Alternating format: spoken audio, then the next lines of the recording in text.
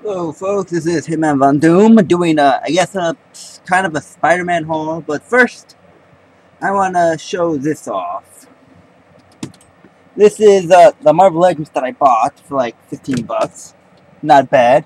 And it was a Phoenix, Jean Grey. So I was really, I got this off eBay, it was packaged and everything, complete. And, you know, I was really happy that I got this. This is actually one of the I think uh, this is what one of the ones that I was looking for for a little bit, and I can't tell you how many times that I've, you know, I've lost a bid on eBay because of it, and you know, I I could go out and buy it for like fifty bucks if I wanted to, but you know, I I wanted to get it for the right price because I wasn't willing to spend fifty bucks, and I got it for fifteen, so I was happy, and you know, pretty cool stuff. Jane Grey there, really happy. Phoenix. And just for poofs and giggles, look at the back. I look at the back and it's like, her intelligence is only a 2, her strength is a 1, her speed is a 1, her energy projection is a 3, and her fighting skill is a 2.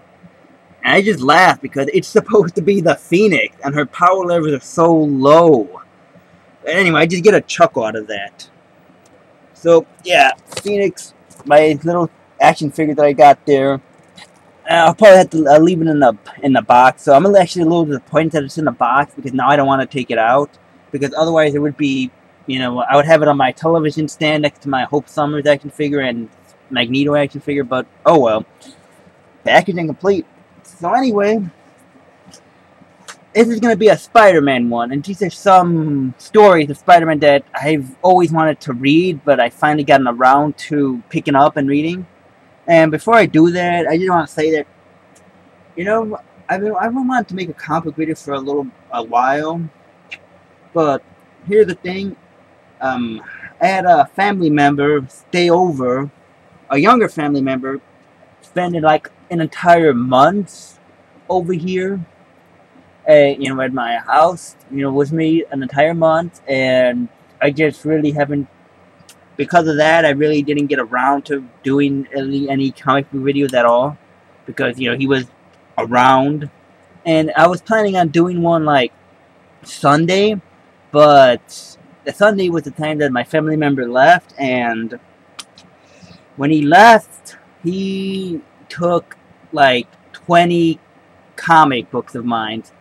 He, yeah, my mom, my mother picked him up and took him back home. And he lives, I live in the city of Chicago. He lives in the Rockford, and he took about 20 comic books, you know, without asking, folks, without asking or telling me, hey, I'm going to take these comics to read, which, you know, if he, if you, you know what I mean, and if he wanted to take them, and if he, if he would ask, hey, can I take this to read? I'll, when we come back, you know, they, they come back, when they, when I come back over here, I'm gonna, you know, I'll bring them back when I come back for a visit or something like that, you know, then I would I wouldn't really had been a problem. But you know, he didn't ask, and not only that too, but he was been how was right word? He's been like taking some like comic books and just like when he was here and hiding them in order to keep them. Like, and I mean like you know my Uncanny X Men run, my X Men Dark Phoenix Saga run, you know, and you know, I wouldn't have a problem with it if he was just gonna read them and then, you know, read them. If he asked me, hey, can I read this? Sure, you know, it's a comic book. It's meant to be read and enjoyed. You know, so I wouldn't have a problem, or I wouldn't even have a problem if he took it, read it, and put it back. But he was, you know, taking them and hiding them with the intention to keep them. And then he took pretty much my entire, like, 20 comics, and the, the comics, I mean, the comics that he took were there was a Messiah, then my complete X Men run of the Messiah Complex and Second Coming, which I love, and he took all of that and just left. And not only that too, but he took my Hope Summers action figure that I have posted up on my television too. Like, yeah, so needless to say, folks, when I came home from work on Sunday, you know, I was ready to do a comic book video, and then when I saw what was missing, I was, I was very angry, and, you know, and I mean Incredible Hulk angry, so I wasn't really in the mood to do a comic book video because it would either well, I pretty much would have the vocabulary of the Hulk if I would do did a comic video on that Sunday like I was planning on doing. But yeah, I was I was pretty peeved. So anyway, that out of the way. And this is Web of Spider-Man number 31. And this is Kraven, the story of Kraven's last hunt. Yes. I got finally this is this one is one of the ones that I've been reading I've been hearing good things. So I always you know, I finally got around to picking some picking them up and reading them. Oh, no webcam, don't. And so yeah, and in this issue, uh, my all I got to say is Kraven is insane. I mean, what? And just throughout the entire saga, I'm just like, what is the hell is wrong with you, Kraven? Oh my, oh my God! I mean, he's insane, just completely insane in this.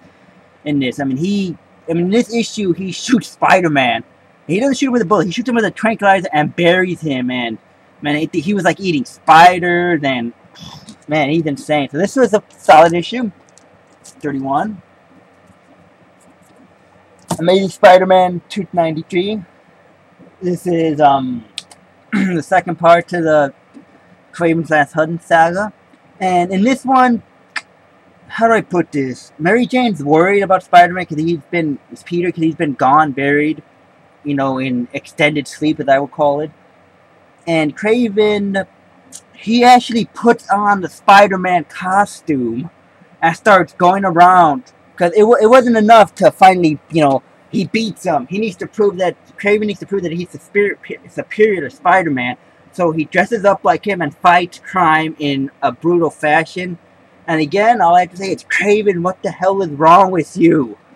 Oh, God. Insane, folks. Now, this one, Peter Parker's Protective Spider-Man 131. Like, I got it from Midtown, like a few of these from Midtown. And, well, in this one, he goes after Vermin. Vermin was pretty much, you know, going up and eating people. He's like a gigantic, oversized rat, pretty much. Not like Master Splinter, who fights crime and is a ninja, but him. You know, and so Kraven, his logic is that Spider-Man needed Captain America's help in order to defeat Vermin. And so, in his crazy logic, he, he feels that, um, you know, if he couldn't defeat Vermin, Spider-Man can defeat Vermin by himself, and he needed Captain America's help, then, and if I, and then he's like, okay, but if he can't do that, if I defeat him by myself, single-handedly, then I'll be superior to Spider-Man. And I will finally have proven myself and restored my honor. You know, crazy stuff like that. And then, and he goes after Vermin, and that's what I gotta say again. It's Kraven. What the hell is wrong with you? Ugh, man. And this one, Web of Spider-Man, Part 4. And of course, Kraven still going on an insanity-driven vendetta to prove himself better than Spider-Man. He's going after Vermin, he's fighting crime, and finally, Spider-Man at the end of the issue, I it's either, was it this one or the other one, he sticks his hand out, like Undertaker style, from the grave, and he's about ready to get his revenge. And this one, is Spider-Man 294, and I got this off my comic book shop, and folks, I was very disappointed because, you know, it was advertised as, like, in fine condition, but then, I, you know, I opened it up, and on the cover, it had, like, writing on it, you know, and needless to say, I was not happy about that because, you know, you know, I hate one of my pet peeves in comic books is writing. I mean, I just hate when it's writing on it, like someone writes in pen, because I just feel it takes away from. Well, one, it takes away if it's on the cover, it takes away from the cover, the artwork on the cover, and two, it's just very distracting. So I was really disappointed. But anyway, this issue, Spider-Man gets called, comes from his grave and comes for Kraven. He lets Mary Jane know he's alive because he's been out of action for two weeks, disappeared, and pretty much he goes after Kraven and, you know, lays on, lays, you know, lays into him, punches him, and, but Kraven, you know, he, according to Kraven, he has nothing to prove. He's like, go ahead, hit me all you want. I have nothing to prove. I, I proved nothing superior to you. And so he doesn't fight back, and he ends up, you know, like, you know, in order to just, to prove that he's even superior to him, he releases Vermin, and uh, Vermin attacks Spider-Man, and Vermin actually beats Spider-Man. And he was like, okay. And then, you know, he did that on purpose so he would tell Spider. He did it on purpose to prove that yeah, I beat Vermin by myself. You couldn't even beat him. And then he lets Vermin go. He's like, your point's proven. Go away. And he actually saved Spider-Man. And at the end of this, well, in the end of this, um, you know, he comes to the realization that Spider-Man, that, you know, he, he has, like, something that's driving him, and he comes to realize that he isn't, like, this mystical figure. He's just a man, and he's a good guy. He's a man, a good man. And in the end, well, I'm going to show it because in the end, he promises never to hunt again. And, well, here's what happens in the end. Look at that shotgun. Oh, what's he doing with the shotgun? Oh, wait a minute. He's pointing it in his mouth. Look at his hand. And bam! He kills himself. Kraven shoots himself in the head with a shotgun and he kills himself. Oh, un unbelievable, folks. And, oh, God, I mean... And again, Kraven, what is wrong with you? Ugh. And this is the final part to it. And after Kraven has killed himself, this is pretty much Spider-Man goes and stops the vermin in the in the sunlight. It's a it's a little anticlimactic way to end it because I feel that this should have been the conclusion. But that is it's still pretty good. And in addition to that, Kraven like clears Spider-Man's name. He was dressing as Spider-Man, brutalizing criminal. He even killed one. And in this one, he actually gives his confession that, eh, no, he shows photos that I'm the one dressed as Spider-Man. Show the picture of him in his grave and stuff. But yeah, that's pretty much what happened. And so that, and so that was Kraven's Last Hunt that I read. And it was a, it's a pretty solid read. And the one thing you, know you need to know when you when you, if you ever you know if anyone picks this up is that um it's not really a, a story about Spider-Man. I mean, it said you know of course that's you know, Peter Parker, Spectacular Spider-Man, Amazing Spider-Man, it says Web of Spider-Man. You know, it might have his, his name on a title, and it might be his title, but it's not it's not really a story about Spider-Man. It's it this this saga. It's really a story about Kraven the Hunter. It's told from Kraven's pers- it's it's pretty much mainly told from Kraven's narration, his his pers- perspective, it, it's a story about Kraven. Spider-Man is just like a secondary character in this. Kraven's the main character, and that's the one thing you got to wrap your head around when you, if you, if you decide to read this. It's a very good read, but it's a story about Kraven, not Spider-Man. And so yeah, that was one of the ones I picked up. And second one I picked up was Spider-Man Reign. Another one that I've been meaning to read, but I just haven't gotten around to it until I finally picked it up. And so Spider-Man Reign, and pretty much, how do I put this? This is pretty much the Dark Knight starring Spider-Man. Well, the Dark Knight Returns starring Spider-Man. It's it's no secret. I mean, if you read this, it, it takes a lot of things from the Dark Knight Returns and Frank Miller's Dark Knight Returns. I mean, just you know, the, the from the the news, from the, you know having those panels with those newscasters, to pretty much just theme, the theme of it, and everything just you know, about a down and out hero hero who who left the business, you know, who left the you know he left the crime fighting business, who's down and out, and now they're living in like some sort of totalitarian society, and you know, just the themes, it's the same. And in this one, you find out that Spider-Man is just like this old, withered, beaten man. You know that he he really has nothing to fight for. He gave up being Spider-Man and in the end, you find out that Joan, J. J. Jonah Jameson sold the bugle, and you find he comes back and he comes back and gold Spider-Man out of retirement. And Spider-Man comes and actually res- well, punches him in the face, and he rescues him in his black outfit, but he, he makes a return.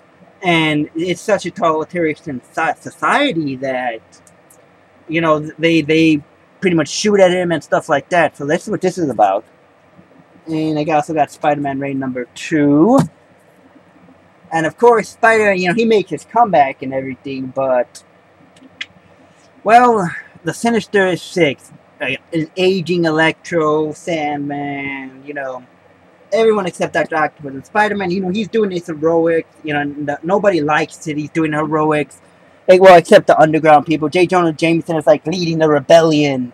He's leading this rebellion because soon, you know, the mayor wants to put this web over the an, an um, electronic web over the city to prevent any crime from getting in and any crime from getting out. And he, he's he's leading this rebellion and Spider-Man fighting crime. He's back to fighting crime and everything.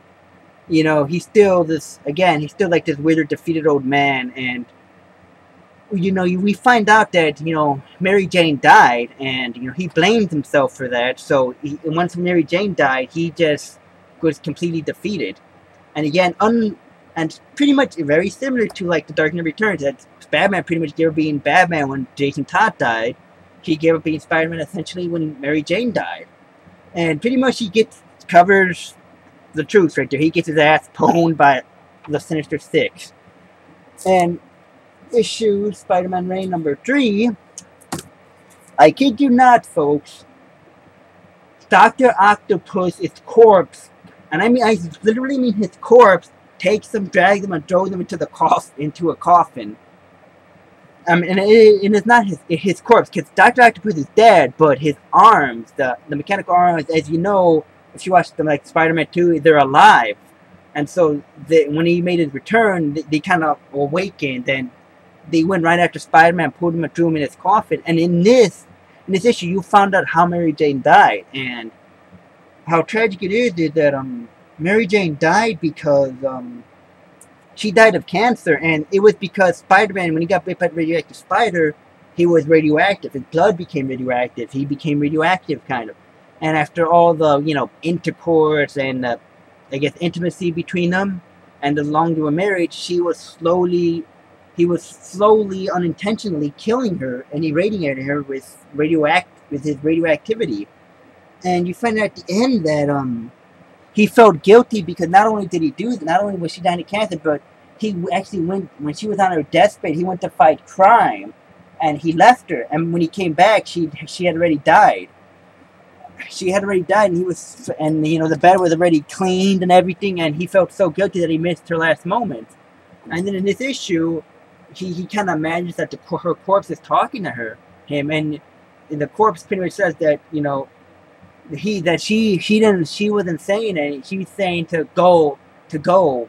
That her final word thing was to when he was hearing to going out to fight crime because he heard the police sign was to go get him, Tiger and that pretty much gives them like a burst of energy. And it turns out that when he got thrown to the coffin, he buried his original blue and red Spider-Man suit, and he pretty much punches through the coffin with his Spider-Man suit on, ready to take on the world.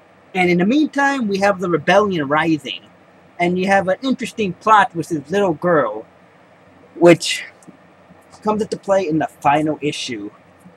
Spider-Man Reign number four, the last one. And he makes his triumphant return to blue and red.